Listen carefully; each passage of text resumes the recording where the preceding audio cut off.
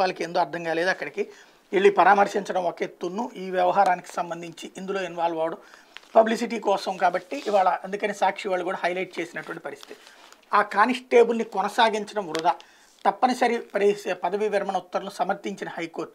విధి నిర్వహణలో నిర్లక్ష్యం విధులకు డుమ్మా కొట్టడం మద్యం దాగి విధులకు హాజరు కావడం నిత్యకృత్యంగా మానవ పోలీస్ కానిస్టేబుల్ తప్పనిసరి పదవి విరమణకు ఆదేశాలు ఇస్తూ ఉన్నతాధికారులు జారీ చేసిన ఉత్తర్వును హైకోర్టు సమర్థించింది. ఆ పోలీస్ తన దురప దుష్ప్రవర్తన విపరీత నడవడిక ద్వారా ప్రభుత్వ ఉద్యోగి నిర్దేశించిన అన్ని నియమాలు ఉల్లంఘించారని అట్లాంటి వ్యక్తి అభ్యర్థులను ఏ రకంగానే పరిగణలోకి తీసుకోవాల్సిన అవసరం లేదని స్పష్టం చేసిన అందువల్ల తప్పనిసరి పదవి విరమణ ఆదేశాలు ఇస్తూ ఉన్నతాధికారులు జారీ చేసిన ఉత్తర్వులు సవాల్ చేస్తూ పోలీస్ కానిస్టేబుల్ దాఖలు చేసిన పిటిషన్ కొట్టేస్తున్నట్టు తెలిపింది. ఈ మేరకు న్యాయమూర్తి జస్టిస్ నిమ్మగడ్డ వెంకటేశ్వర ఇటీవల తీర్పు వెలువరించారు. తూర్పుగోదావరి జిల్లా కాకినాడ ఏపీఎస్పీలో కానిస్టేబుల్గా పనిచేస్తున్న వై బాలకృష్ణ వివిధ కారణాలు ఇచ్చి రెండు వేల పదిలో తొలగిస్తూ కాకినాడ ఏపీఎస్పీ కమాండెంట్ ఉత్తర్వులు జారీ చేశారు దీనిపై బాలకృష్ణ ఏపీఎస్పీ డీఐజీకి అప్పీల్ చేసుకోగా బాలకృష్ణ సర్వీస్ అతని కుటుంబ పరిస్థితులు పరిగణలోకి తీసుకుని డీఐజీ అతనిపై కనికరం చూపారు. సర్వీస్ నుంచి తొలగిస్తూ ఇచ్చిన ఉత్తర్వులను సవరించి తప్పనిసరి పదవి విరమణగా మారుస్తూ రెండు వేల పదకొండులో ఉత్తర్వులు జారీ చేశారు. వీటిపై బాలకృష్ణ డీజీపీ ముందు రివిజన్ పిటిషన్ దాఖలు చేసుకోగా ఆధారాలను పరిశీలించిన డీజీపీ తప్పనిసరి పదవి విరమణకు డీఐజీ ఇచ్చిన ఉత్తర్వులను సమర్థిస్తూ రెండు వేల పన్నెండులో ఉత్తర్వులు ఇచ్చారు. దీనిపై బాలకృష్ణ హోంశాఖ ముఖ్య కార్యదర్శి క్షమాభిక్ష పిటిషన్ సమర్పించారు. ఆ పిటిషన్ ముఖ్య కార్యదర్శి రెండు వేల పదహారులో తిరస్కరించారు. డీఐజీ డీజీపీ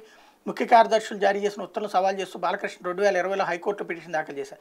తనను తిరిగి విధుల్లోకి తీసుకోవడంతో పాటు జీతం బకాయిలు ప్రయోజనాలంటి చెల్లించాలా ఆదేశించాలని కోరారు. వ్యాజ్యంపై విచారణ జరిపిన జస్టిస్ నిమ్మగడ్డ వెంకటేశ్వర్లు ఏడేళ్ళ సర్వీసులో ఎనిమిది శిక్షలకు గురైన ఉద్యోగి ప్రభుత్వ ఉద్యోగ కొనసాగేందుకు అర్హుడు కాదని తేల్చారు. అతని పిటిషన్ కొట్టేస్తున్నట్టు తీర్పులో చెప్పారన్నటువంటి వార్తని హైలైట్ చేశారు.